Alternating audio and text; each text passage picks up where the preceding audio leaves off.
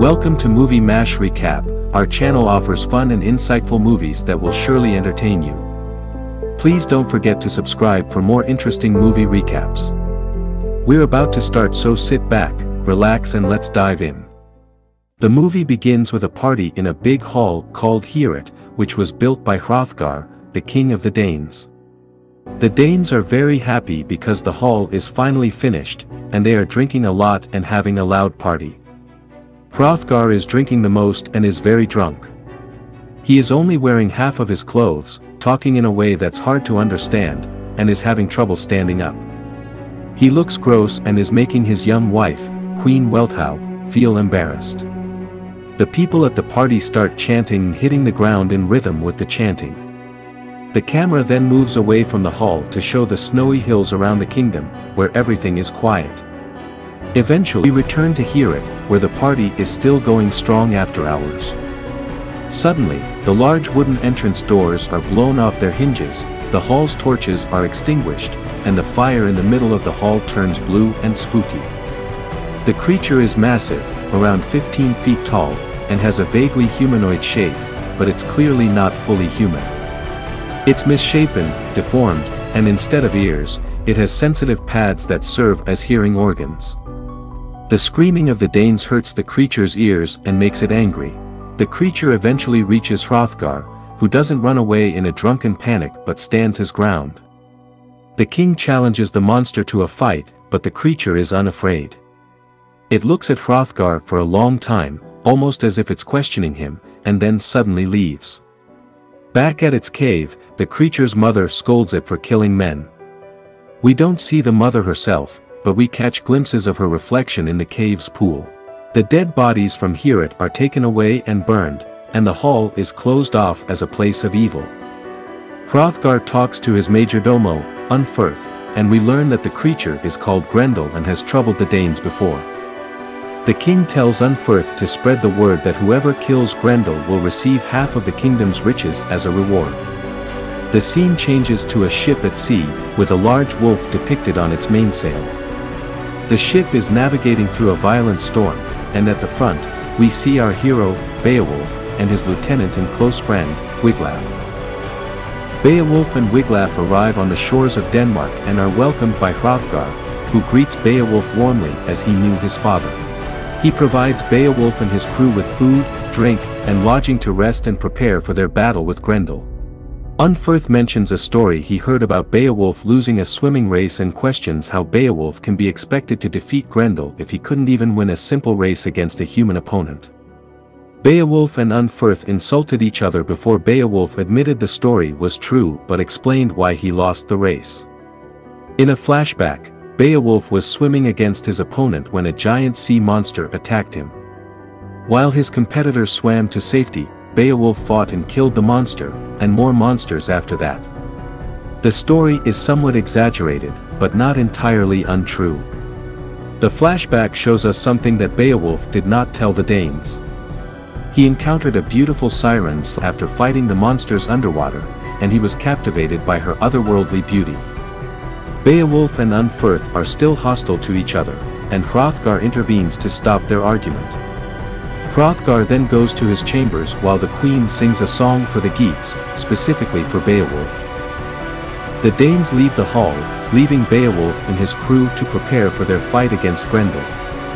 Beowulf decides to fight Grendel with his bare hands because no weapon can harm the monster. He even strips naked to fight him. The Geats begin to chant Beowulf's name, and their noise reaches Grendel's cave, causing the monster to scream in pain.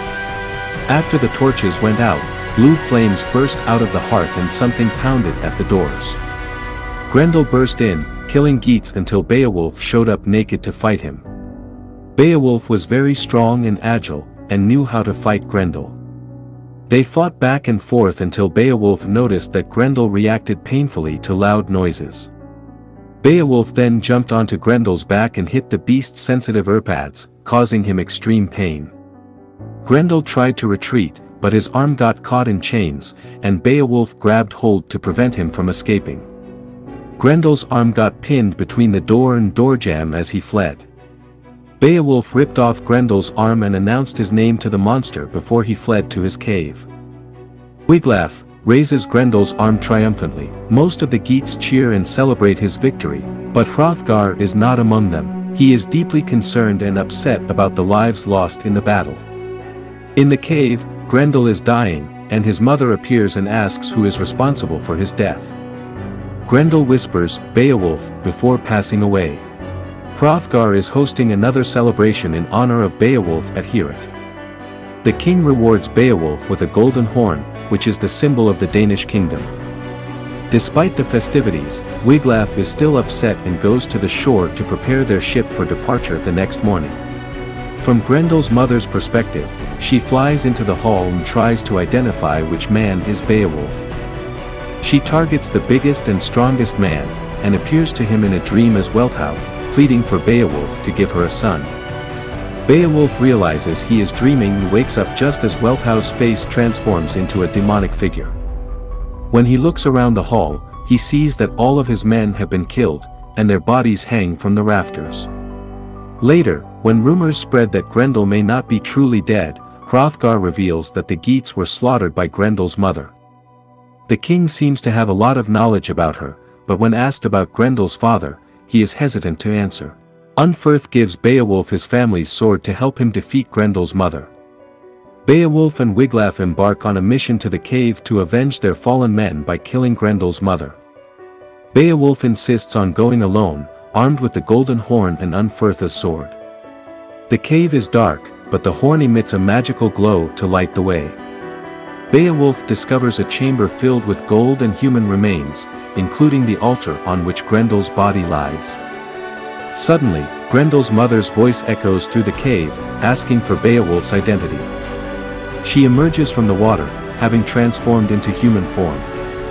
Beowulf is mesmerized, similar to when he encountered the mermaid in his sea monster tale, and appears susceptible to the enchanting powers of mystical female beings. Grendel's mother is impressed by Beowulf's physical prowess and tries to seduce him by promising him a kingdom and everlasting glory in exchange for sleeping with her and giving her another son. Beowulf attempts to attack her with Unferth's sword, but it has no effect on her. She easily disarms him and takes Hrothgar's dragon horn as collateral for her promise. Beowulf is tempted by her offer and seems to be considering it, despite the danger it poses. The scene jumps to Beowulf's return to Heorot declares that he has not only killed Grendel but also his mother. Beowulf explains that he lost the horn during the battle with the mother. Hrothgar suddenly announces that all his possessions, including the kingdom and his wife will be received to Beowulf, after he died. Hrothgar celebrates with another feast and asked Beowulf to speak with him privately. The king asks Beowulf to describe what happened with Grendel's mother. Beowulf tells the same story as before, but with a hint of caution in his voice. Itzimp is aware of what actually happened and becomes visibly upset but remains silent. They return to the party, but Hrothgar excuses himself and jumps off the castle wall to his death. Beowulf and Wealhtheow are horrified, and Unferth declares Beowulf as the new king of Denmark. We see Beowulf's face, now older and grayer, wearing the Danish crown, looking out at his soldiers on a battlefield. His soldiers are winning the battle, but Beowulf seems almost sad about it. It appears that Grendel's mother kept her promise, as Beowulf has enjoyed unmatched success and glory for the past 50 years. But Beowulf feels that his achievements are all meaningless and dishonorable, gained through a sinful relationship with a monster rather than through his own skill and merit. Beowulf even taunts one of the enemy soldiers, daring him to try and kill him, but he already knows it won't happen and is disappointed.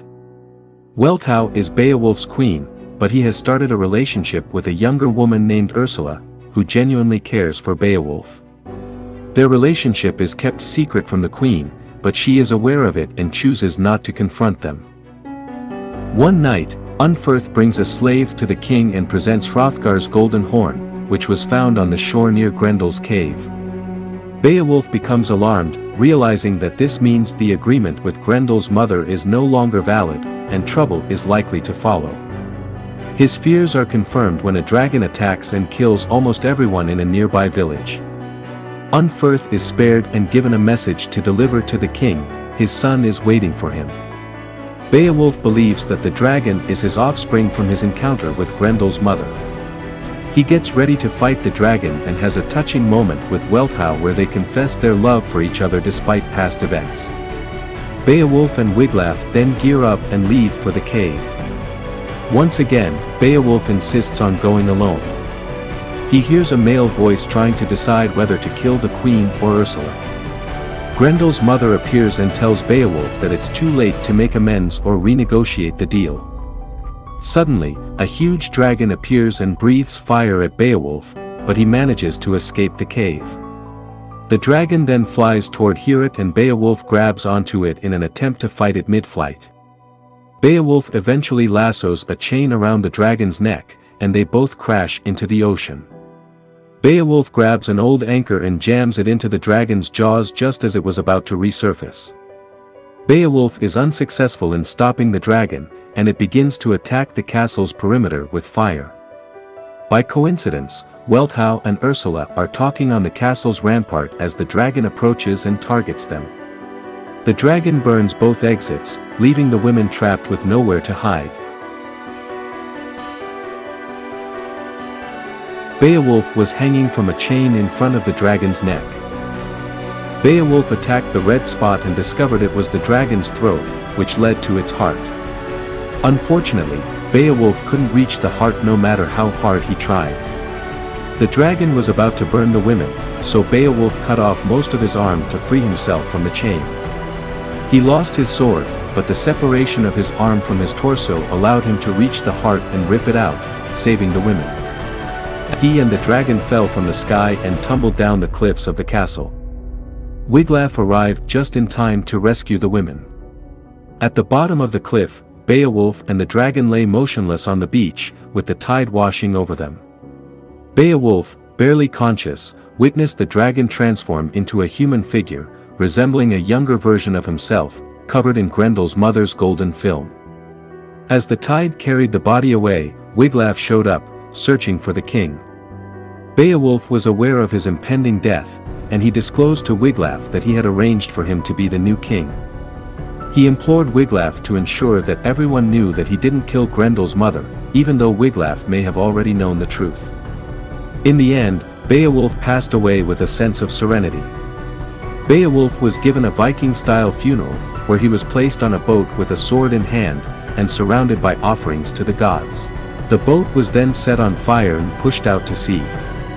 While Wealhtheow and Ursula mourned together and returned to the castle with everyone else, King Wiglaf remained behind to watch the boat until it disappeared into the horizon. As he watches the ship engulfed by flames, he sees Grendel's mother appear still human and new, descend onto the boat and give Beowulf a parting kiss. She descends into the water, and the boat then crumbles and sinks completely out of sight. Wiglaf appeared to be unfazed by her sudden appearance. As Wiglaf and Grendel's mother gazed at each other, it remains uncertain whether Wiglaf resisted her or gave in, just as Hrothgar and Beowulf had done, and thereby started the curse cycle anew. Thank you for watching. Don't forget to subscribe for more interesting recaps.